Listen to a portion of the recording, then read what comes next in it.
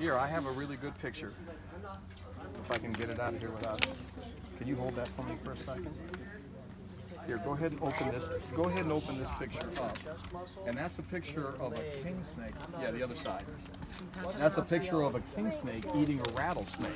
Whoa. Because the king snakes are really resistant to the rattlesnake venom. You can pass it around. Where I can't see And uh, they, they, those king snakes are constrictors like these guys, but they're about 10 times stronger. So they can grab the rattlesnake because they're fast. They grab it behind the head and they squeeze it to death and they swallow that.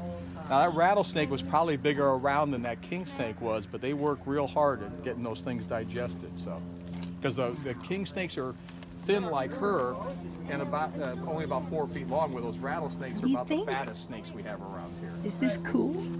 Yeah. Got any questions? I- Yeah. Does she, where's her, do, does she have ears? Like, No, she doesn't have ears. she And said she's- she, um, with her tongue. Uh, wi- uh, Well, no, she smells with her tongue, Yeah. but she doesn't really have ears per se. So, She feels? yeah, uh, she feels